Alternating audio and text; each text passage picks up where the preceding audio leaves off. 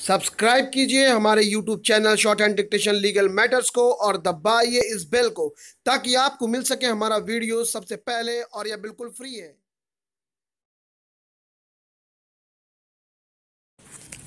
Ready start the Reserve Bank of India issued a circular letter bringing the direction to the notice of companies like Peerless on September fourteen nineteen seventy three the Peerless company addressed a letter to the Reserve Bank of India explaining the nature of their business and claiming that their business was outside the scope of the directions issued by the Reserve Bank. Most important of all, it was requested that if it was thought that their business attracted the notification, they should be granted exemption from the applicability of the notification as provided by paragraph 13.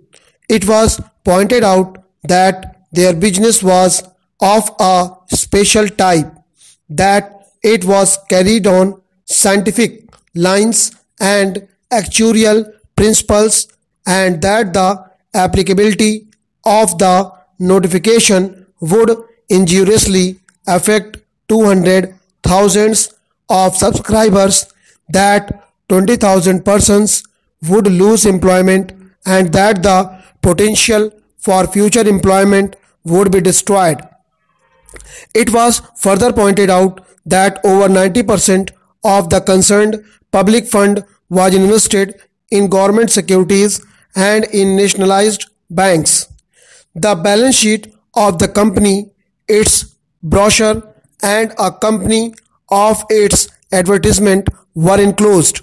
The Reserve Bank of India, by their order dated December 3, 1973, exempted the company from the provisions of paragraph 4 of the notification insofar as those provisions restricted the acceptance of subscriptions under the schemes up to 25% of the paid up capital and free reserve fund.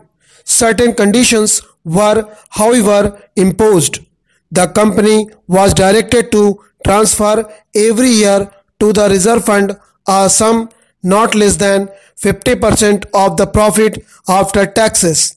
The company was directed not to declare any dividend at rates higher than 6% and 7% on ordinary and preferential shares till the free reserve became equal to the paid capital. The company was also required to maintain not less than 75% of its total assets in the form of investments and government trustee securities, etc.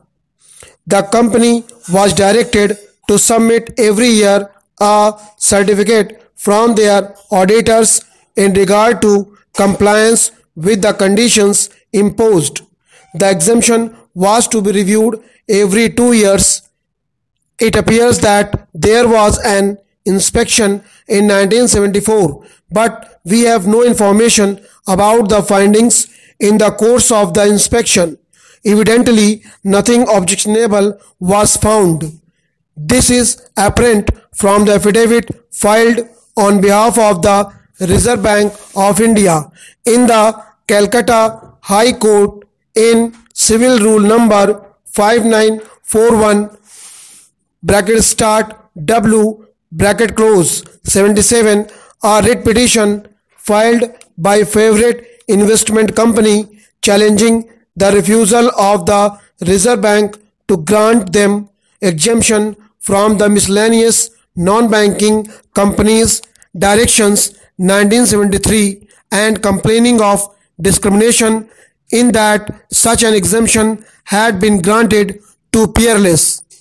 Comparing the schemes of the two companies, it was pointed out in the affidavit that the endowment certificates issued by Peerless Company were for periods ranging from 10 to 30 years, while the endowment certificates granted by favorite company ranged from 5 to 30 years. It was stated that the schemes of the favorite company which ranged for short periods from 5 to 30 years were unscientific in as much as interest payable by the company on short-term certificates was higher than 10% of the installments or subscriptions collected by the company which were invested in government securities and banks were filed was between 5 to 10 percent. Stop. Correct word is field. 547 words.